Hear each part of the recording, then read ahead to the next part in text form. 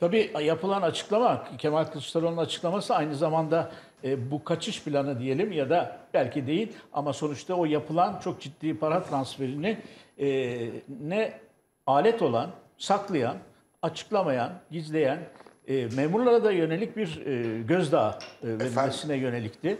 E, çünkü siz burada suçlusunuz. Bakın dikkat edin. E, eninde sonunda bunun bedelini ödersiniz gibi bir göndermesi vardı değil mi? Bakın çok kıymetli vekilim e, çok önemli bir konuya temas etti bu olayda. Bakın bunun ahlaki ve vicdani tarafı var bu olayın. Şimdi bunu memurlar içerisinde, bu ülkede görev yapan bürokratlar içerisinde geçerli. Bu ülkede işte yıllar önce, e, o zaman çocuktuk ama biz sizi çok daha iyi hatırlarsınız. Benim memurum işini bilen, e, bilir diyen Özal'a neler yapıldı.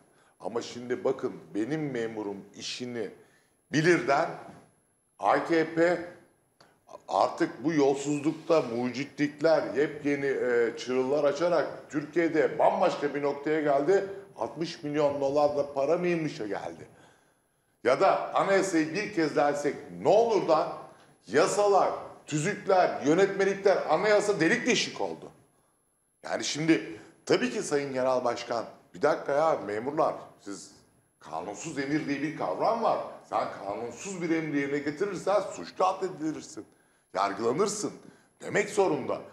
Ki önemli bir şey söyledi. Bugün bir anne çocuğuna yurt bulamadığı için Anadolu'dan çocuğunu Ankara oku, İstanbul tıpı kazanan çocuğunu okula yollayamayacak. Bir baba çocuğuna kot alamadığı için, kot pantolon alamadığı için intihar edecek. Ya da bir baba çocuğuna 20 lira verip bir tost yediremediği için ya da akbilini alamadığı için okula yollamayacak. Bilal'in vakfından, Esra'nın vakfına 60 milyon dolar yollanacak. Ne var canım diyecek. Olur mu bu? Bu ahlaksızlık. Bu ahlaksızlık. 60 milyon dolar. Sonra Aziz Nesin, Nesin Vakfı'na yaptırımı o vakfa uygulamayacaksın. Nesin Vakfı'nın ve dediği gibi birçok sivil toplum örgütünün, derneğinin hesabını an ve an, gün ve gün denetleyeceksin. Bu vakıflardaki paranın kaynağını açıklamayacaksın. Ya lütfen burası Muz Cumhuriyeti değil. Değil. Yani bu ülkenin şimdi bir dolar bile önemli diyoruz. Kur e, korumalı bir işte bir saçma sapan bir şey getiriyorsun. 60 milyon dolar o vakıf tutuyor. Oradan oraya yolluyor ve bunlar konuşulmayacakmış bu ülkede. O akşam, o akşam sanki milli bir felaket vardı. Fahrettin kapatıyor, Ömer Çelik başlıyor. Diğer grup başkan vekili kapatıyor, o kapatıyor. Hepsi de vatan, millet, Allah, ya Rabbi. Ulan Allah kahretsin sizi. Hırsızlığı konuşuyoruz biz. Hırsızlığı konuşuyoruz. Bunun bayrakla, vatanla, Kur'an'la, kitapla, Allah Allah ne alakası var? Yani bu adamların ağzı açıldığı zaman kitap, Kur'an, vatan, millet, bayrak, ülke, beka, Cumhurbaşkanımıza dokundurmayız. Kimse dokunmuyor ki ona zaten. Sorun da o. Kimse dokunamıyor ona. Hukuk dokunamıyor, yargı dokunamıyor. Evet. Vicdan da dokunamıyor. Şimdi bir parça korku olsa bunlar olur mu bu ülkede? Yani ne zaman ki 20 liralık tost dedi bana geldiler. Gerçekten de ülkenin hali bu. Bu. Birçok anne baba çocuğunu okula gerçekten yollayamadı ya Anadolu'da. Yurt olmadığı için. Bana yalvardı ya. Bir yurt dedi İzmir'de çocuğuma dedi. Ve sıradan okullar değil, hukuk, tıp kazanmış. Ha Esra'nın vakfıyla Amerika'da ben yurt yapacağım. Ya sen önce kendi bir önünü süpür.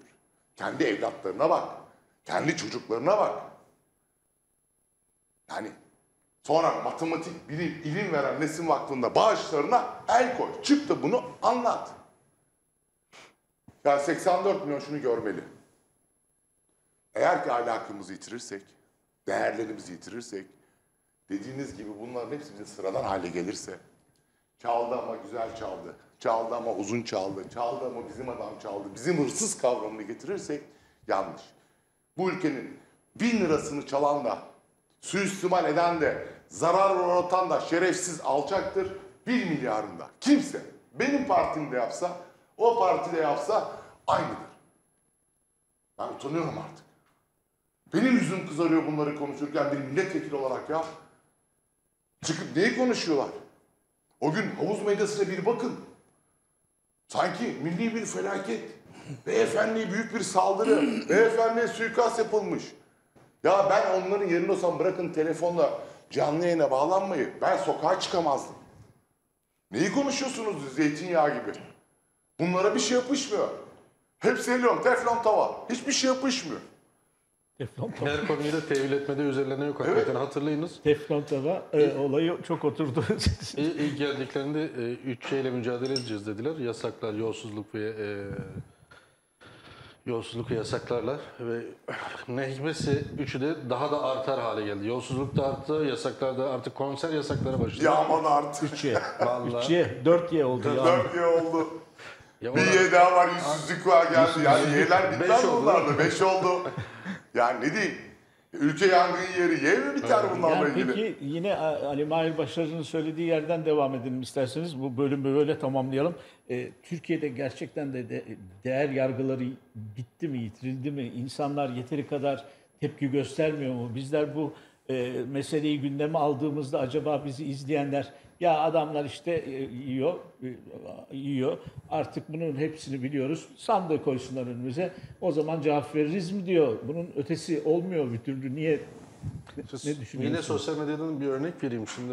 e, Sosyal medyayı da çünkü zapturapt altına almak için bir Evet, yasa ama onun da hazırlığı var. düzen- da düzenlemesi hazırlığı var. İşte yasaklara bir yasak daha eklenecek muhtemelen. Bugün bir e, dönem bir video vardı. Artık su alamayacak raddeye geliyoruz. Vatandaş diyor ki su içmeyin diyor. Yani AKP yanlısı bir amca ne yapalım diyor yağmur suyu için diyor. Hangi raddeye taşındığımızı bir izah edecek artık akıl sır e, akıl almıyor hakikaten. Ne raddede yaşadığımızı artık havsalalar bile anlatamıyor. Şimdi bu kadar yolsuzluk, bu kadar e, tahripkarlık, tahrip edememiş hiçbir kurumumuz kalmadı. Hangisini sayalım diye düşünüyorum. Yani üniversiteden tutun merdiven altı üniversiteye kadar, işte yurtlara kadar.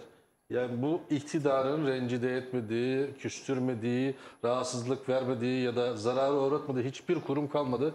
Ve gelin görün ki yani temel ihtiyaçlarımızı bile karşılayamayacak raddedeyken ne hikmetse 20 yılın sonunda tekrar iktidara talipler, iktidarı bize verin, biz iktidarda devam edelim.